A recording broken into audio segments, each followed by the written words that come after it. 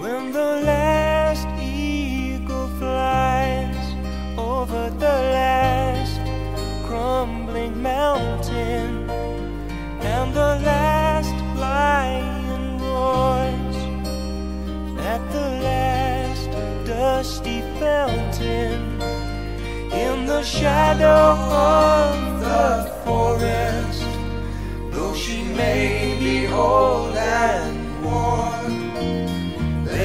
stare unbelieving at the last unicorn.